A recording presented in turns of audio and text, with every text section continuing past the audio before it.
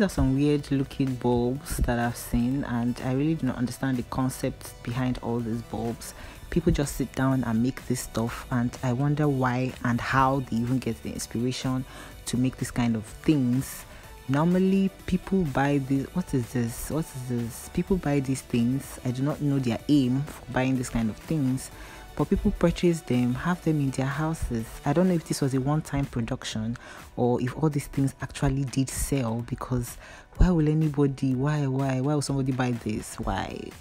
Why will anybody purchase all these kind of things? I don't know. People who do these things, they try, they try a lot. And it's, it's weird to me that this one is so huge. Why is it so big? This is actually the best design I've seen so far, really. Like, I don't, okay, okay. I think I need I need to stop now. Thank you guys. Bye.